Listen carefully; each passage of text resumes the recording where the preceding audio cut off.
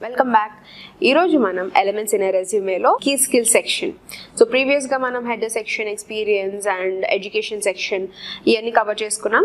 Next section వచ్చేసి key skills skills hobbies ఈ sections అని చాలా చిన్నవి అనేసి అనుకుంటారు.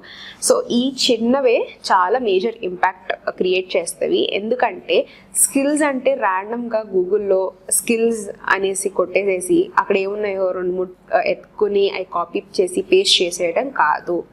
మీరు ఏదైతే స్కిల్స్ మెన్షన్ చేస్తున్నారో వెరీ వెరీ ఇంపార్టెంట్ పాయింట్ ఏం మెన్షన్ చేస్తున్నా కానీ అవే స్కిల్స్ని మీ job role or job profile ఏదైతే మీరు ఎంటర్ అవబోతున్నారో దానికి కనెక్ట్ చేసి చెప్పగలగాలి.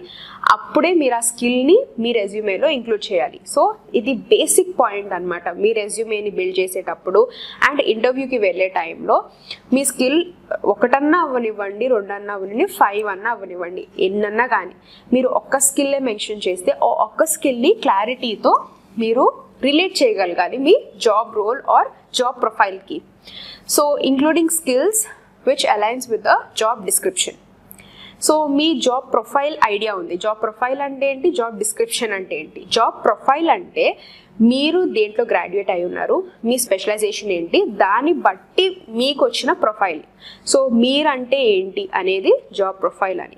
ఓకే సో దాన్ని బట్టి మీ స్కిల్స్ని అలైన్ చేసుకుంటారు రిలేట్ చేసుకుంటారు. జాబ్ డిస్క్రిప్షన్ అంటే వాళ్ళు ఇచ్చేది సో ఒక కంపెనీ ఒక జాబ్ రోల్ గురించి డిస్క్రైబ్ చేస్తుంటే దాన్ని జాబ్ డిస్క్రిప్షన్ అంటారు. సో జాబ్ డిస్క్రిప్షన్కి కూడా మీ స్కిల్ కనెక్ట్ అవ్వగలాలి. సో ఆ కనెక్ట్ అయ్యే విధంగా మీ రెజ్యూమేని బిల్డ్ చేసుకోవాలి. అలా అని మీకు లేని స్కిల్స్ జాబ్ డిస్క్రిప్షన్లో అడిగారు కదా అనేసి వాటిని మీ స్కిల్స్ కింద పెట్టేసేసుకొని మెన్షన్ చేయొద్దు. మీరు ఏ స్కిల్ అయితే మెన్షన్ చేస్తున్నారో ఆ స్కిల్ని మీ మీ ప్రొఫైల్ మీరంటే ఏంటి అండ్ దాని నుంచి జాబ్ డిస్క్రిప్షన్ ఏదైతే ఉందో మీరు కనెక్ట్ చేసి దీంట్ నుంచి మీరు ఇవ్వగలిగే కెపాసిటీ ఏంటి? మీరు కాంట్రిబ్యూట్ చేసే ఆ ఎబిలిటీ ఏంటి అనేది మీరు చూపించగలగాలి మీ స్కిల్ ద్వారా. నెక్స్ట్ కన్సిడర్ ఇంక్లూడింగ్ కంప్యూటర్ కానీ ఫారెన్ లాంగ్వేజెస్ కానీ పర్సనల్ ఆర్ సర్టిఫికేషన్స్ ద్వారా అన్నా కానీ మీ స్కిల్ని మీరు పోర్ట్రే చేసుకోవచ్చు. స్కిల్స్ కదా అనేసి ర్యాండమ్గా మోస్ట్లీ పీపుల్ మెన్షన్ చేసేది. ఏం మెన్షన్ చేస్తారు? స్కిల్స్ అంటే కమ్యూనికేషన్ స్కిల్స్ టీమ్ లీడర్ ఇంకేమి? ఎఫర్ట్ బిల్డర్ సో ఇట్లాంటి ర్యాండమ్ ఉన్నవి స్కిల్స్ అని మెన్షన్ చేస్తారు. లీడర్షిప్ స్కిల్ ఉంటుంది కమ్యూనికేషన్ స్కిల్ ఉంటుంది లిసనింగ్ యాక్టివ్ లిసనింగ్ అంటారు యాక్టివ్ స్పీకింగ్ అంటారు టీమ్ లీడ్ అంటారు. సో ఇట్లాంటివన్నీ వెరీ కామన్ ఇవి మీరు డిస్క్రైబ్ చేసేటప్పుడు కూడా మీకు వన్ ఆర్ టూ పాయింట్స్ తప్ప ఎక్కువ డిస్క్రిప్షన్ అనేది రాదు. సో అలాంటప్పుడు మీరు ఏం చేయాలి? మీరు ఇఫెక్టివ్గా అంటే వెరీ క్లారిటీతో మీరు రిలేట్ చేయాలి అనుకుంటే ఇది వాడుకోవచ్చు. కంప్యూటర్ స్కిల్స్ ఏమైనా ఉన్నా కానీ క్లారిటీగా మెన్షన్ చేయండి. మీకు ఏం వచ్చు? C C plus plus or MS Office కంప్లీట్గా మీకు వచ్చు అనుకుంటే ఎంఎస్ ఆఫీస్ పెట్టవచ్చు and next foreign languages very very effective tool అనమాట ఇది స్కిల్లే కాదు ఒక టూల్గా కూడా పనిచేస్తుంది. సో ఫారెన్ లాంగ్వేజెస్ కనుక వస్తే multiple languages understanding and speaking languages కనుక వస్తే you can keep it and under skill section and certifications certifications ద్వారా కూడా మీరు మీ స్కిల్ని పోర్ట్రే చేయొచ్చు. సో లిస్ట్ ఆఫ్ సర్టిఫికేషన్స్ అనేది ఒక టెన్ సర్టిఫికేషన్స్ చేసి ఉన్నారు. ఆ టెన్ మీరు అక్కడ మెన్షన్ చేయలేరు.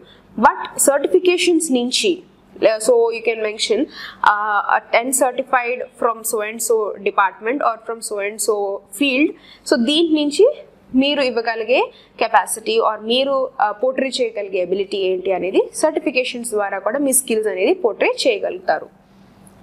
అండ్ నెక్స్ట్ మేజర్ సర్టిఫికేషన్స్ అనేది ఎట్లా హైలైట్ చేస్తారు? సో సర్టిఫికేషన్స్ అంటే మళ్ళీ డౌట్ వస్తుంది.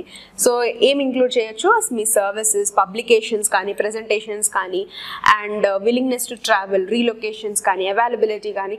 సో ఇట్లా మీరు కనుక ఏ ఈ పర్టిక్యులర్ ఫీల్డ్స్లో కనుక చేసి ఉంటే అది కూడా స్కిల్ కింద వస్తుంది.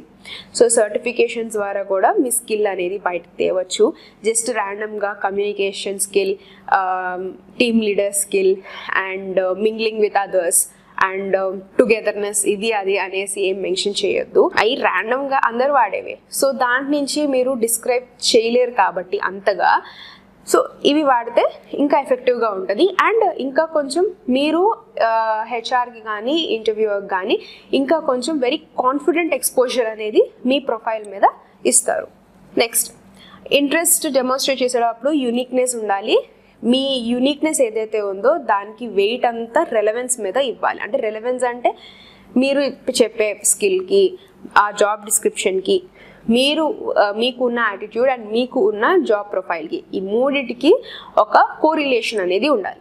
ఈ ఎక్కువ వెయిట్ ఏదైతే సెంటరైజ్డ్ అయి ఉంటుందో దాన్ని బట్టే మీకు ఒక ప్రాపర్గా క్లియర్గా కాన్ఫిడెంట్ ఇన్సైట్ అనేది ఇస్తారు. మీ జాబ్ గురించి. సో ఆ జాబ్ గురించి మీరు ఏమి కాంట్రిబ్యూట్ చేస్తున్నారు? మీరు ఎంత వరకు వర్క్ చేయగలరు? అండ్ అక్కడి నుంచి మీరు ఎంత వరకు డెవలప్ చేయగలరు అనేది ఆ కాన్ఫిడెన్స్ అనేది మీరు బిల్డ్ చేయగలుగుతారు. సో అందుకే మీరు చెప్పేటప్పుడు దాన్ని క్లియర్గా ఇంట్రెస్ట్ని డెమాన్స్ట్రేట్ చేయడానికి ట్రై చేయండి. డెమాన్స్ట్రేషన్ అంటే దాన్ని క్లియర్గా ఎక్స్ప్లెయిన్ చేయడం మీ స్కిల్ని ఆ పర్టికులర్ రోల్కి ఎక్స్ప్లెయిన్ అండ్ కనెక్ట్ చేయడం ఏ విధంగా కనెక్ట్ చేస్తారు అనేది వెరీ ఇంపార్టెంట్ అండ్ ఇట్లా చెప్పాను కానీ స్టోరీలు స్టోరీలు చెప్పేయాల్సిన అవసరం ఏమీ లేదు. జస్ట్ వన్ ఆర్ టూ లైన్స్లో స్కిల్ అండ్ జాబ్ రోల్ సరిపోతుంది. సో ఈ పర్టికులర్ సెక్షన్లో మనం కీ స్కిల్స్ స్కిల్స్ సెక్షన్ని ఎట్లాగా డెవలప్ చేయాలి అనేది తెలుసుకున్నాం. ఇంకేమైనా డౌట్స్ ఉంటే కామెంట్ సెక్షన్లో కామెంట్ చేయండి. రెజ్యూమేలో ఎలిమెంట్స్ అన్నిటిని కవర్ చేస్తాం video by video.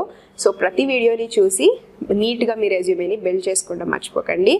And do subscribe to freshers నా Telugu channel. Thank you for watching